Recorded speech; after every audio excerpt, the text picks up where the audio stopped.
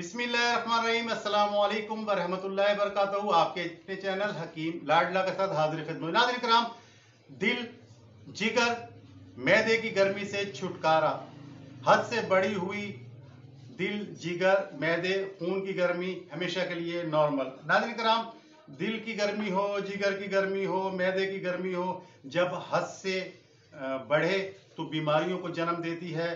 पुरानी से पुरानी गर्मी को सिर्फ़ पंद्रह दिन में जो है दाल में ले आती है और दिल जिगर मैदा की गर्मी से मुकम्मल छुटकारा दिलाने वाला इलाज है। बगैर साइड इफ़ेक्ट है, चंद मिनटों में तैयार हो जाता है और बहुत कम लागत में तैयार होता है। नाजिक राम जो लोग मुख्तलिफ़ किस्म की गर्मी से परेशान हैं, वो नोट फरमा लें, जून, जुलाई, अगस्त, सितंबर, इसमें बहुत शदीद गर्मी होती है, खासकर कराची और गिरदनवा और मुल्तान वगैरह में तो वो लोग जो गर्मी से परेशान है को इस्तेमाल करें, मेरे लिए दुआएँ करें, मेरे आल औलाद के लिए बख्शिश का सामान बनने की कोशिश करें। ना दिक्कत हम इसके एग्ज़ाम नोट फरमा लें, गुलाब की खुश्क पत्ती लेनी है, अच्छी तरीके से साफ़ करनी है, बीस ग्राम।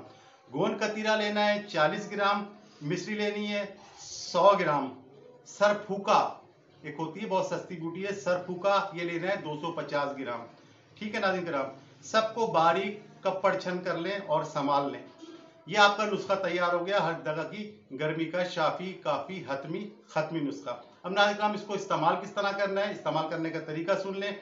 सुबह और शाम को 12 घंटे का गैप दें और एक चाय का चमचा खाली मैदा दिन में दो बार कम से कम पंद्रह दिन इस्तेमाल करें। पंद्रह दिन उन लोगों के लिए जिनका मर्ज नया नया है। लेकिन जो पुराने मरीज़ हैं, वो इसे जो है ना, कम से कम जो है ना, एक महीना ज़रूर इस्तेमाल करें। दोबारा सुन लें, सुबह और शाम को एक चाय का चमचा, खाली मैदा, कम से कम पंद्रह दिन दूध या दही की कच्ची लस्सी के साथ इस्तेमाल करें। नाश्ता और खाना जो है, कम से कम एक घंटे बाद करें।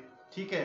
पुराने मरीज़ कम से कम 30 से चालीस दिन इस्तेमाल करें। दस साल से छोटे बच्चे जो हैं, उसको इस्तेमाल ना कराएँ। अमूमन ज़्यादा छोटे बच्चों को गर्मी का मसला होता भी नहीं है।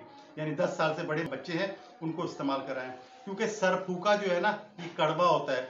और जो है, बच्चे जो है, फिर थूक देंगे या उल्टी कर देंगे तो दवा ज़ाया होने वाली बात है।